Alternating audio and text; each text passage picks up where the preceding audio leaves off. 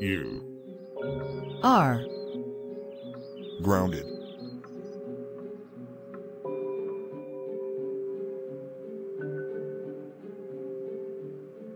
Today's episode is Classic Caillou eats Mario's spaghetti and gets grounded. It was requested by Noah Konigers. Hi, it's your boy Classic Caillou here. Today, I'm going to eat Mario's spaghetti for lunch,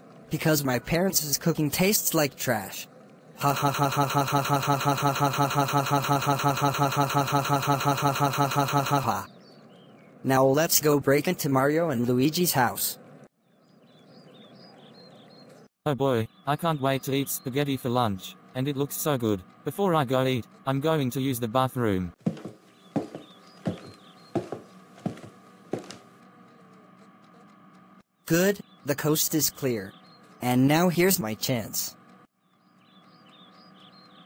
Alright, I'm now at the table. And now let's go dig in. Mmm. Mmm. Mmm. Mmm.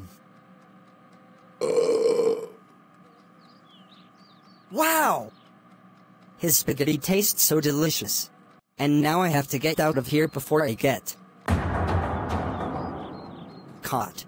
Classic Caillou, what are you doing at my house? Wait a second. Classic Caillou, did you just eat my spaghetti while I was in the bathroom? Come on, tell me the truth right now. Well, you're not going to be happy when I tell you this. Yes. I was the one who broke into your house and ate your spaghetti for lunch, because my parents' cooking tastes disgusting. I'm so sorry.